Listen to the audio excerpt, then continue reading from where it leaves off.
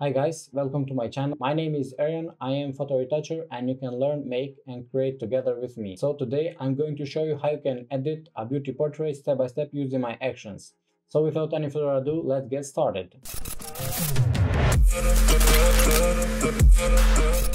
And if you wanna get this raw file, link is in description. Uh, you can find this raw file in my telegram channel. Also, if you wanna get these actions, link is in the description. So before we start retouching this portrait, uh, make sure that you check all the links down below and let's get started.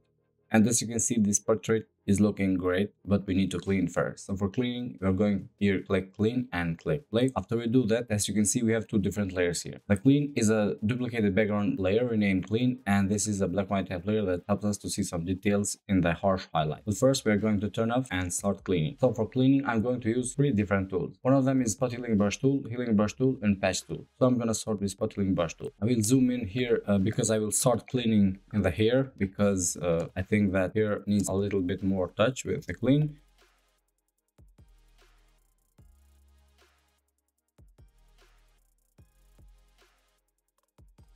And as you can see, we have cleaned the hair just a little. It's time for some liquify. So I'm just gonna drag and drop this and go to filter and liquify. I'm gonna use the forward warp tool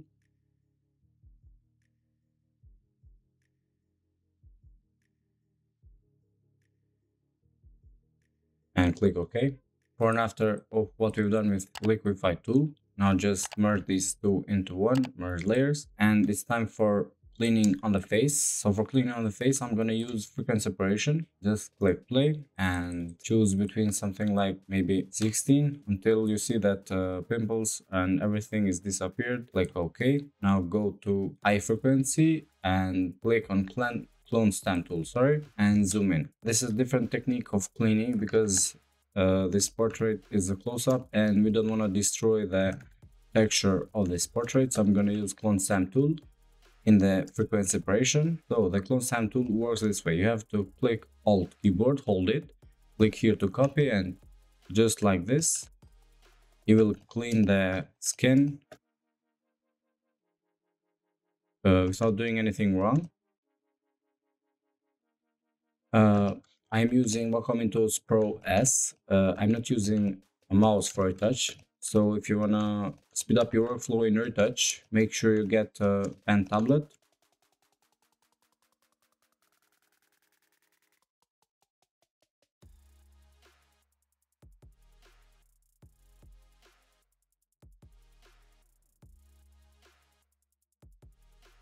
And as you can see before and after with the frequency separation and clean method inside that. Uh, we need to remove this in the forehead. So I'm gonna use a lasso tool and feather of 8 maybe.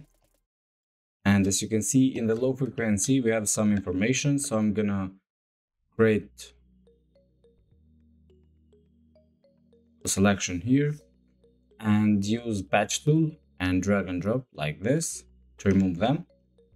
Now, as you can see a before and after, in the low frequency, it's removed, but we still have that because it's still in the high frequency. So I'm gonna go to clone stamp tool. As I said before, click and hold alt keyboard and clean it like this. Now zoom out, check before and after of what we've done so far with a clean in high frequency and in low frequency in black and white we have cleaned the portrait and we still have the texture and we didn't do anything wrong.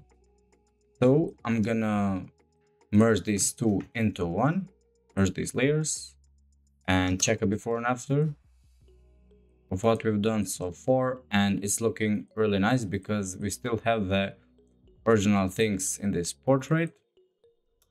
Now that we are done with clean it's time for the dodge and burn. So i'm just gonna click on dodge click play and click on burn, click play. Turn on the black and white tile player because we need to see some more details. And for dodge and burn of this portrait, I'm gonna create another window for this.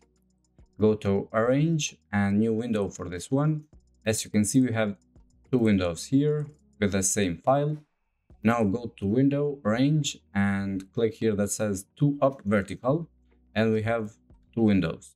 The reason why I do this for the dodge and burn of this portrait specifically is because that we're gonna work here on the right window and we're gonna take a look on the left window what what we are doing in the dodge and burn. So I'm gonna just zoom out a little on the left window, make this one a little bigger uh, because when we dodge and burn, all we need to do is take a look on the zoom out because we will see more of the details of what we're doing on the portrait. So this is the all reason for this method. So go to the dodge, zoom in on the right window, that is this one, and with a 10% opacity of the brush and flow by 45 with a brush I'm just gonna start dodging into this portrait so as you can see a before and after right now it's happening here. So check in the left before and after. You can even work on the left like this and check a before and after. It's looking great. So keep moving keep working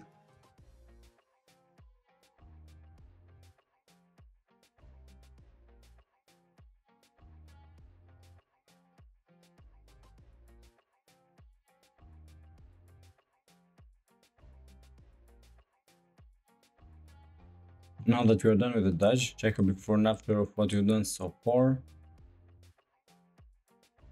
You can see in the black and white what you've done in the dodge. Now that you are done with the dodge, it's time for the burn.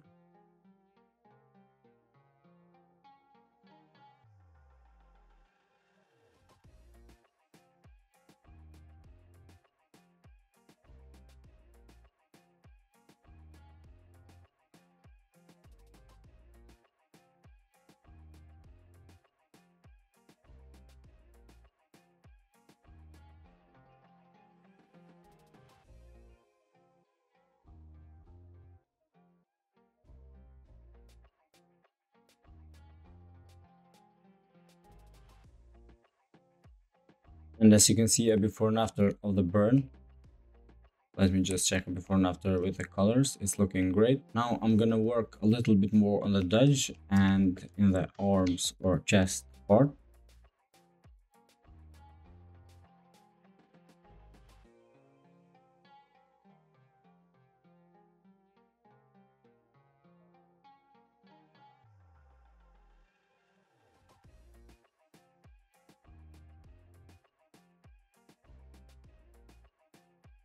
Now you can check a before and after of this entire process the dodge and burn.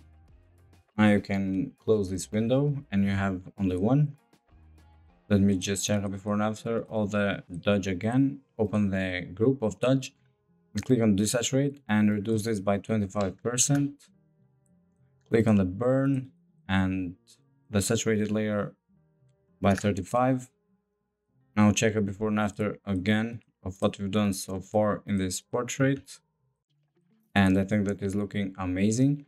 Now drag and drop this FS plus and hold shift keyboard, click here, right click and group from layers, rename like clean and dodge and burn. Just like this double uh no double click but drag and drop this to create another copy of the background of this group and merge the group check a before and after again. Now that we are done with the clean and dodge burn it's time for some little frequency separation. So go back to the actions again. Click frequency separation and click play. So for the right radius of this portrait are gonna go like maybe 10 i think it's okay. Open the frequency separation and click on the low frequency. So in the low we're going to work with the mixer brush. So for the right settings of mixer brush 10 of wet load by 45 makes 55 for the flow, we are going by 30 and zoom in just a little, turn on the black and white help layer and start mixing the skin tones of this portrait.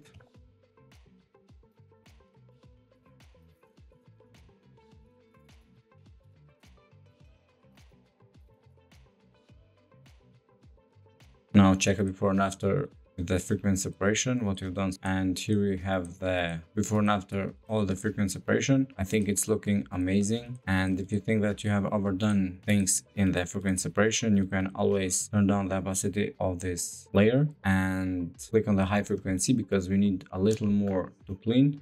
So click on the clone stamp tool and as I said before, hold, hold alt keyboard, click here to copy the texture and paste it like this this is a great technique for the high-end retouching for the close-up portraits like this one. And it, as you can see before and after, we have uh, done something wrong with the texture. So to re remain the original texture, we are gonna go here to skin texture, click play with a white brush and 100% opacity. I'm just gonna paint it here of this part where we have done some bad work with the cleaning texture and here's the skin texture or the digital skin texture I just added to this portrait and reduce this by 50%. I think it's okay. Now check a before and after over this entire process and it's time to add some more dodge and burn to this portrait. I'll click on the dodge and with the white brush turn on the and help layer just paint it like this to add some more global dodge into this portrait.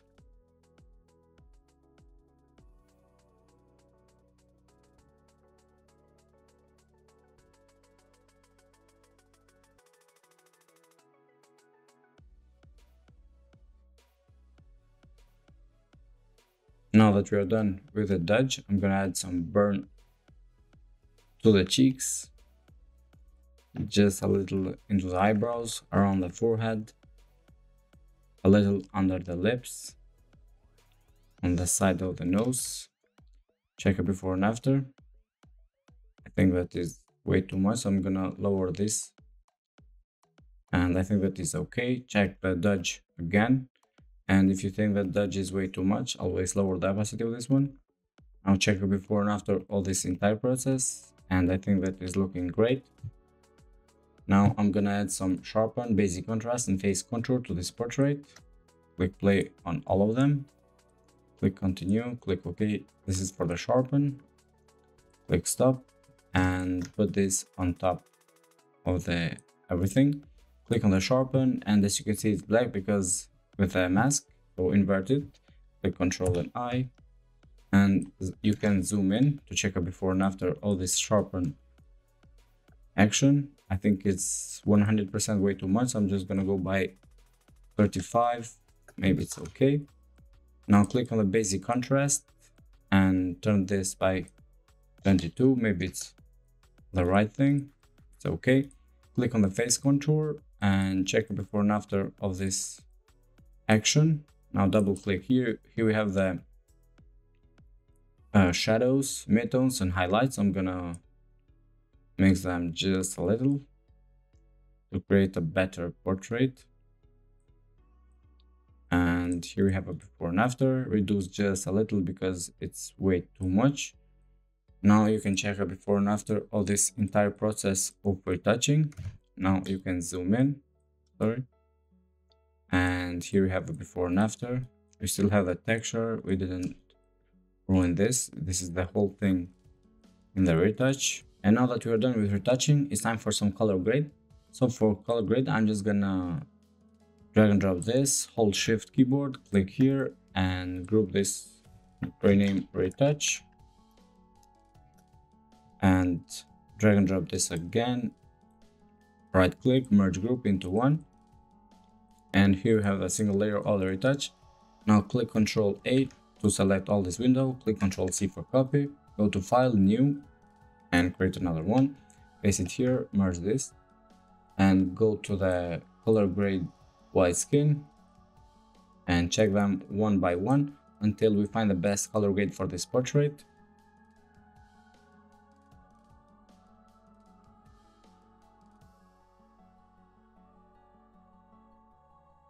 So I'm gonna stick with CGA4 and I think that I'm gonna stick with a CGA3. Yeah, drag and drop both of them into the original folder or the window. And here we have the CGA4 now I'm gonna check them one by one until the best settings for this color grade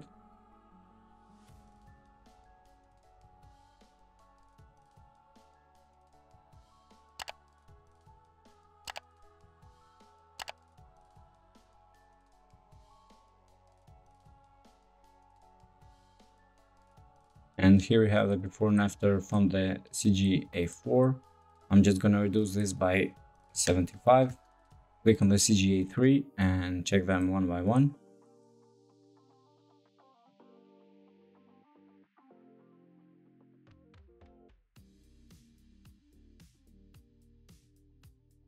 And as you can see before after from the CGA3 I'm just gonna put some more adjustments to this portrait.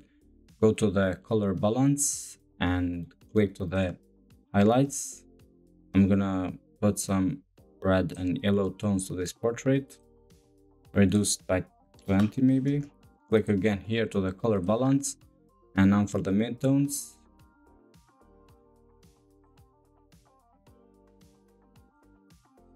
Switch from the blending mode that is normal to soft light and from the opacity just go by 20 check the before and after.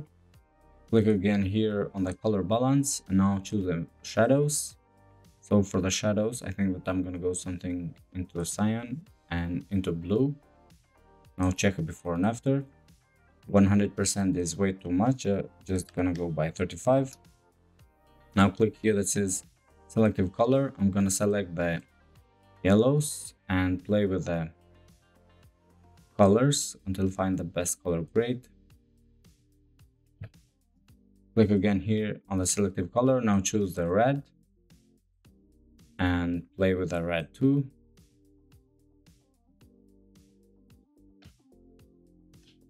Check it before and after for the red and lower the opacity. Now click here and click to the black and white. Switch the blending mode from normal to luminosity and check before and after what this does. Now you can play with the reds and yellows. And here we have a before and after. I'm just gonna go by 25 for this and create another copy of this one.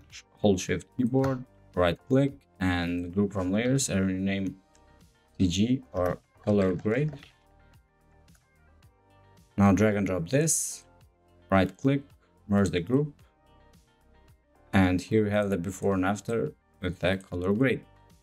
So this is before and this is after. This is before, this is after retouch, and this one is after retouch and color grade. You can zoom in and check before and after. I think it's looking great. So that's it for today guys. I hope you enjoyed this video tutorial. Please don't forget to check all the links down in the description because you will find the raw file and the color grade and retouching actions. Make sure to subscribe if you didn't already. Drop some likes to the algorithm and let me know in the comments if I'm understandable or not. And see you guys in the next one. Peace.